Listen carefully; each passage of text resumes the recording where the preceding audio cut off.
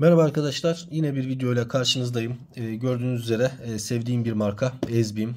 Ezbim e, markasının L18 modeli. Daha önce L19'u ve L17'yi de inceledik. Maalesef şu an elimde yoklar. Olsa mükemmel bir test olurdu ama yine mükemmel bir test olacak. Çünkü yanında neyimiz var? Yanımızda arkadaşlar Sofin SF26. Bakın öz kardeş gibiler. Artık muhtemelen Sofir'in bir çalma durumu olabilir. Ama tabi bunu e, çok da bilmiyoruz. E, bir, ilk başta biz çünkü bu modeli nerede gördük? Ezbim'de gördük. Bu tarz modelleri e, Sofir'in ve Vurkos'ta benzerini yaptılar. Şimdi e, bu modelimiz de e, Ezbim markasının kalitesini yansıtan her şeyiyle yansıtan e, bir model.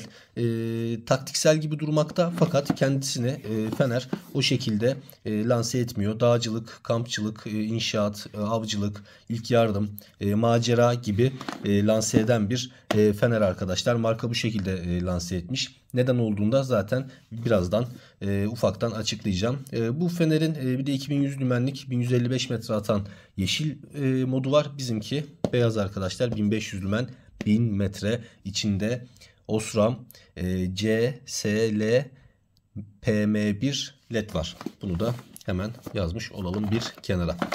Evet e, kutumuzu açalım. E, kutu içeriğinden neler çıkacağını bir görelim arkadaşlar. E, hani zaten birazdan SF26'nın da kutusunu yan yana koyacağım. Aradaki fiyat farklarının neden olduğunu sizin de anlamanızı isteyeceğim. Ama e, daha güzel bir kutu bekler miydim? Evet e, Ezbin'den daha güzel bir kutu beklerdim. Çünkü L19 efsane bir kutuda gelmişti. Fakat içi boş mu derseniz hayır içi boş değil. Burada bir tane kılıfımız var ki L19'un kılıfı çok çok güzeldi. Burada bir e, Type-C kablomuz var.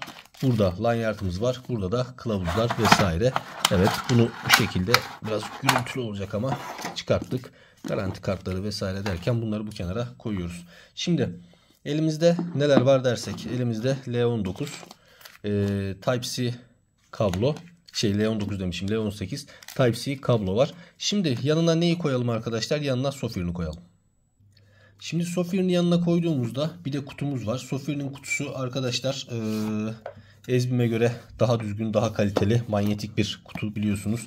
Hani beklemezdim Ezbim'den bu tarz kutu ama çok da önemli değil. Sofir'in de içinden ne çıkıyor? Lanyard çıkıyor, kullanıcı kılavuzları çıkıyor ve arkadaşlar şarj kablosu çıkıyor. Yani Sofir'in de neyimiz yok? Sofir'in de kılıfımız yok. En azından e, bunu belirteyim. E, aradaki farklılıklar bunlardan ibaret. Kutu içerisinden çıkanları da bu şekliyle söylemiş oldum. Şimdi kılıfımıza bakalım. Kılıf e, birazcık dediğim gibi değişik geldi bana. Yani e, L19'un kılıfından sonra bu kılıf bana birazcık ne derler ona? Ya daha iyisini beklerdim diyebilirim. Şu şekilde gördüğünüz gibi yine cırtlı Yine D halkalı yani her türlü mol vesaire sisteme ayak uydurabilecek. Ama e, şu boşluklar yani problem değil aslında. Kalite anlamda bir kötü gözükmüyor ama yine de biraz daha güzel olabilirdi. Çünkü L19'da çıtayı bayağı yüksek yerlere koymuşlardı. Evet e, fenerimize gelirsek arkadaşlar fener gördüğünüz gibi tır mercekli. Biliyorsunuz bu L serileri bu şekilde tır mercekli yapılıyor. Ee, yine e, hem arkadan tuşlu, taktik tuşlu hem de yandan tuşumuz var. Burada bir klipsimiz var. Klips çok sert, çok sağlam. Hani bir yere oturttuğumuz zaman öyle kolay kolay çıkacak bir klips değil. Tabii ki burada taktik halkamız var. Ve feneri açalım. Pil korumamızı kenara çıkartıyoruz. Gördüğünüz gibi e, Ezbim'in muhteşem bir e, bunu niye muhteşem diyorum denedim çünkü harika bir pili var 5100 e, mahlık 21700 pil arkadaşlar üstünden Type-C ile şarj edilebilen bir yapısı var. Gördüğünüz üzere arkada burada da arkadaşlar yine yaylı. Burada da yay var altın kaplama. Yani şoklara karşı avcılıktaki şoklara düşmelerdeki şoklara karşı bizi ne yapacak? Ee, daha da bunları absorbe edecek şekle sokacak arkadaşlar. Şimdi fenerin çalışma mantığına gelelim. Fenerin çalışma mantığı arkadaşlar çok kolay. Ee, burada momentri yapıyorsunuz kapatıyorsunuz arka tuşta. Momentri yapıp kapatıyorsunuz. Bastığınızda da turboda ki momentri de turboda yapıyor. Turboda çalışmaya devam ediyor. Ama yan tuş böyle durumda hiç işlevini yerine getirmiyor. Kapatmanız gerekiyor. Yani burası sadece momentri ve turboda çalıştırmak için arka tuş gördüğünüz üzere. Ama yan tuşla bunun en güzel tarafı zaten özellikle en güzel tarafı yan tuşla kullanıyor olabilmeniz. Yan tuşa bastığınız zaman ve basılı tuttuğunuz zaman da bu şekilde modlarını değiştiriyor. Çift bastığınızda turbo yapıyor. Tekrar bastığınızda kendini kapatıyor. Açtınız arkadaşlar. Bastığınız modları değiştiriyorsunuz. Bu şekilde açıkken 3 kere tıkladınız. Strop yapmaya başlıyor arkadaşlar. Bastınız tekrardan normal moduna geldi. Kapalıyken 3 kere tıkladınız. Yine strobunu yapıyor. Kapalıyken uzun süre bastınız. Gördüğünüz gibi bir lümen modu var. O, o lümenlerden de bahsedeceğim. Arkadaşlar bu şekliyle yani fener e, kolay kullanımlı e, bir problem yok ve en güzel tarafı her şeyden önce yine söylüyorum en güzel tarafı hem arka tuşla momentri yapıp turboda çalıştırıyor olabilmeniz hem de ben standart işte e, taktiksel kullanmayacağım bu feneri dediğinizde normal bir fenermiş gibi yan tuştan çok rahat bir şekilde bu feneri kullanabiliyorsunuz. Güzel tarafı bu. Tır merceğin yapısı L19'dan farklı. Hatta gördüğüm bütün tır merceklerin yapısından farklı. Bakın genelde tır mercekleri bu şekilde görürdük. Burada bir kat kat katman var. Değişik bir yapıda oluşturmuşlar. Ki e, yanına da getirmişken e, Sofin SF26 ile Ezbin'i şöyle bir e, siz de bir süzün. Arkadaşlar boy olarak Ezbin biraz daha e, uzun gözükmekte ancak kafa çapına bakar mısınız? Kafa çapında Ezbin gerçekten Sofin'den baya baya ufak, baya baya bir kompak ve kasa yapısını yani arada çok fark var diyebilirim. Kasa yapısında Ezbim çok fark atıyor. Buradaki çelik bazelden tutun da e, şöyle elinizdeki hissiyattan, tuşların verdiği hissiyattan e, birçok şeyi anlaşa anlayabiliyorsunuz diyebilirim size. Şimdi Sofin'den aradaki farklılık ne dersek gördüğünüz gibi bir e, kafa farkı var arkadaşlar. Kafa çapı olarak Sofin'in daha e, büyük. Zaten bu atmada o şekliyle yansıyor. E, gövde olarak birbirlerine yakınlar ama Ezbim sanki bir tık daha kalınmış gibi belki de gözümüze öyle gelebilir.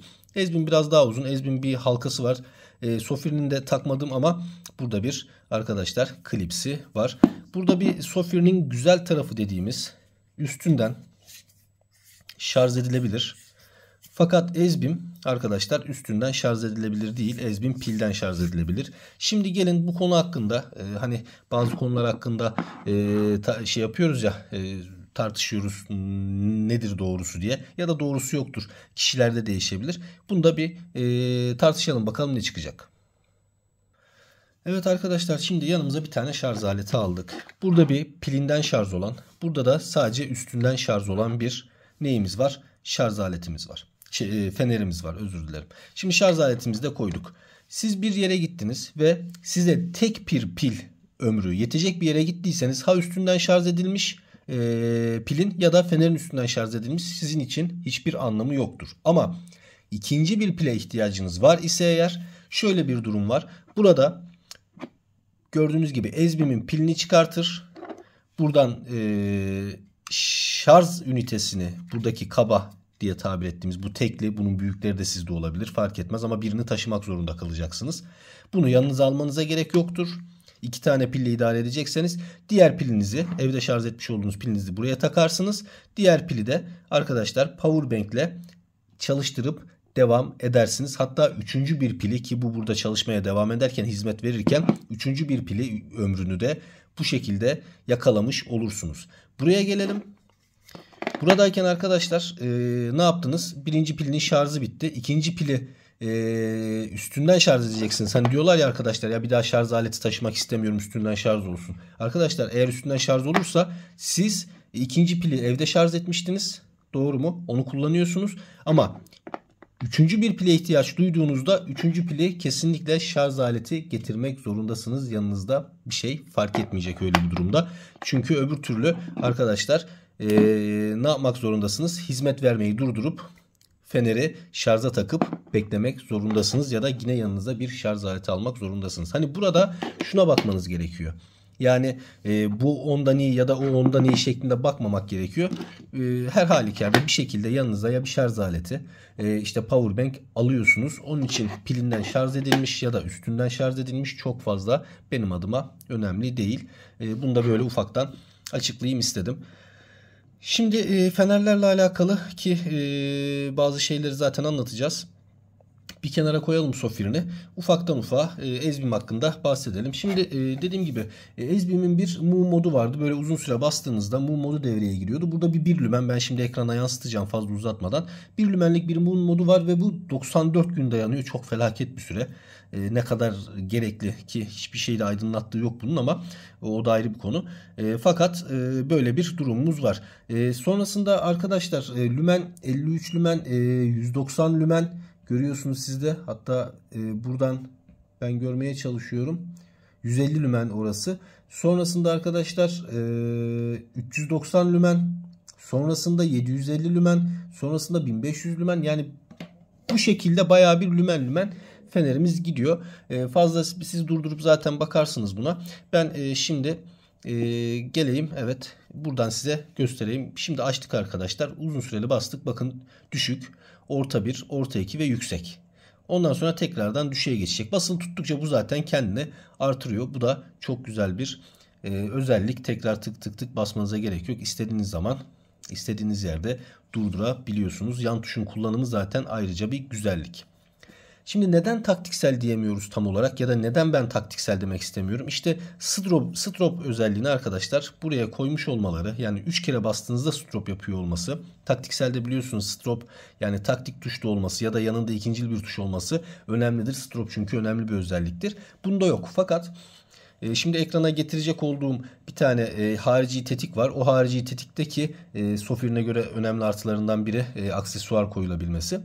Harici tetikle arkadaşlar hem e, momentary yapabiliyorsunuz e, hem strop yapabiliyorsunuz hem de ne yapabiliyorsunuz? E, modları değiştirebiliyorsunuz ama daha çok avcılıkta kullanılan bir şey. Momentary oraya pardon strobe oraya niye eklemişler?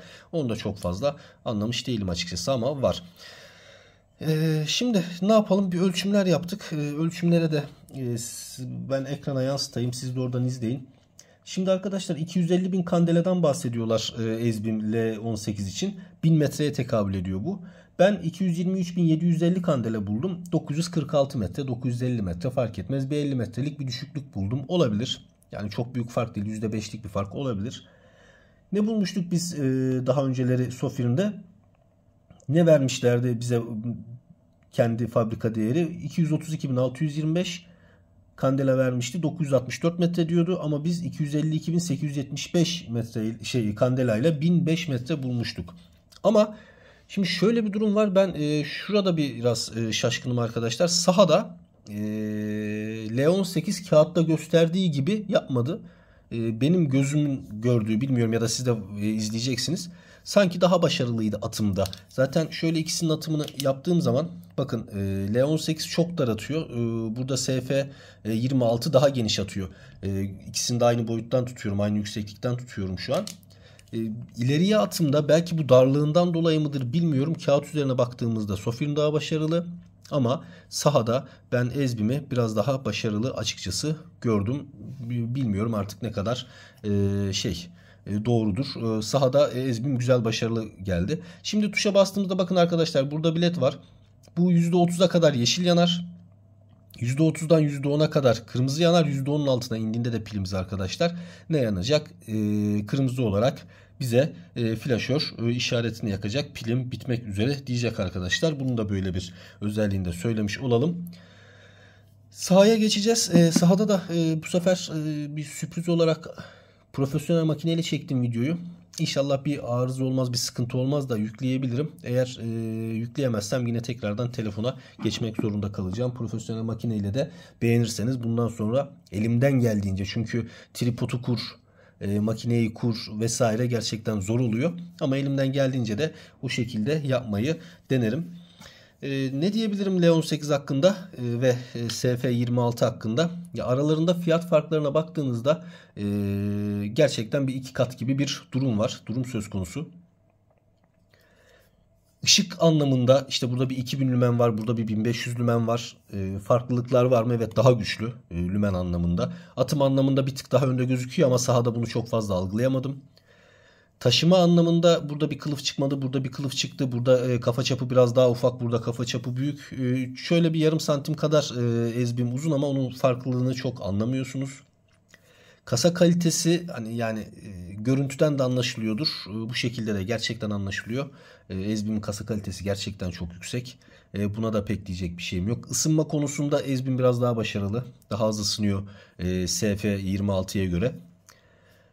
Ama iki kat fiyat eder mi derseniz e, ya benim gibi e, onu kullanayım, onu alayım, onu kullanayım, onu alayım değilseniz eğer bence değer e, Ezbim L18 alınıp e, ömürlük kullanılabilir. E, çok sağlam gerçekten. Yani hissiyatıyla beraber çok sağlam. Ama e, çok da dert değil. Ben o kadar para vermek istemiyorum diyorsanız Sofir'in de kasasında, e, kendisinde vesairesinde, sağlamlığında, hissiyatında hiçbir problem yok. Sofir'in de alınabilir arkadaşlar. Dediğim gibi şimdi sahaya geçelim. E, sahada e, incelemelerimize devam edelim arkadaşlar.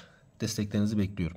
Merhaba arkadaşlar. Bugün bir farklılık yapıp profesyonel makinamla çekim yapacağım. İnşallah e, görüntüler daha iyi gelir sizin için. E, bayağı bir uğraştım açıkçası. Yine e, caddeye yakınım.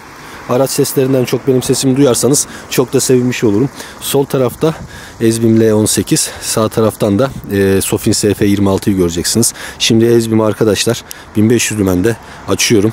Bakın buradaki ağaçlar dediğim gibi 75-80 metre. Şu şekilde 200 metrelik 210 300 310 400 410 420 metrelik binalara tutuşu bu şekilde. Şimdi profesyonel makinenin tabi faydalarını da alalım şu şekilde. Gördüğünüz gibi 400 metre hatta arkadaki 600-650 metrelik binaya da bu şekilde vurabiliyor. Ezbim L18 arkadaşlar. Biraz da yağış var ama idare etmeye çalışalım. Şimdi ne yapalım? Sofirnimize bakalım. Sofirin arkadaşlar 2000 lümenin faydasıyla biraz daha güçlü fark ettiyseniz. Böyle e, yine 200 metrelik, 210, 300, 310 metrelik, 400, 410 metrelik ve 600, 650 metre civarında olan binamıza da bu şekilde vuruyor. Hatta bunu da yine bu şekilde size gösterebilirim. Sofirini. Buradan yine 600-650 metrelik binaya da bu şekilde vuruyor. Şimdi sağ taraftan gördüğünüz gibi L18 buradan Sofir'in arkadaşlar. Buradan L18 bu şekilde buradan Sofir arkadaşlar. Şimdi yine burası E5'e döndü maalesef. İkisinin atım şeklini görüyorsunuz. E, L18 daha dar bir atıma sahip. E, SF26 daha geniş bir atıma sahip. Tabi 1500 dümene 2000 dümenin farkı var ama kandelaları gördüğünüz üzere birbirleriyle gerçekten aynı. Hatta kandelayı ben size şuradan şu şekilde de gösterebilirim. Şurada evet ağaçtan görüyorsunuz. Şu an Sofin SF26 şu an L18'i görüyorsunuz. L18'in e, ışık rengi bir daha sarı. Sofir'in bir tık daha e, soğuk beyaza yakın arkadaşlar. E, ama ikisi de birbirlerinden e, çok farklı değil. Benim gördüğüm Ezbim sanki kağıt üstünde o kadar olmasa da e, bakıldığında bir tık farklı gibi. Ezbim'in biraz daha farkı var. Şimdi size de daha iyi onu gösterebilirim. Şimdi ikisini de kapatıyorum. Tekrardan ikisini de turbo modda açacağım. Şu an L18 şu an arkadaşlar gördüğünüz gibi Sofirn. Şu an L18 şu an arkadaşlar Sofirn. Bu şekilde de bir test yapmak istedim. Ee, şimdi kameramızı biraz daha çevirelim. Arkadaşlar şöyle yan taraftaki binalara karşı şöyle. Evet yine burada gördüğünüz üzere karanlık binamız var. Evet şu an SF 26'yı görüyorsunuz. Şu anda gördüğünüz L18. SF 26'yı görüyorsunuz arkadaşlar. Şu anda gördüğünüz L18. Şimdi birazcık binamıza doğru yaklaştırdığımızda SF 26 L18 şu şekilde binalara sizin için yine ben tutuyorum arkadaşlar buradan görebilirsiniz. Bu, bu binalar 250 ile 300 metre aralığındaki binalar arkadaşlar. Şöyle biraz daha aşağıya tutacağım şimdi. Biraz daha aşağıya doğru indiriyorum kameramı. Ağaçlık bölgeye doğru. Ağaçlık bölgede de karanlık alanlarda da 150-200 metrelik ağaçlarda da gördüğünüz gibi her ikisi harika iş yapmakta. Şimdi kameramızı düzeltelim. Yine aynı bölgemize geçelim arkadaşlar. Şöyle ikisinden de bir şekilli bir fotoğraf buradan ben almayı deneyeyim. Bu şekilde yağmurumuz da var. Siz de görüyorsunuz. Müthiş bir makine her ikisi de. Zaten özelliklerini anlattım. Artık yorumları size kalmış arkadaşlar. İzlediğiniz için çok teşekkür ederim.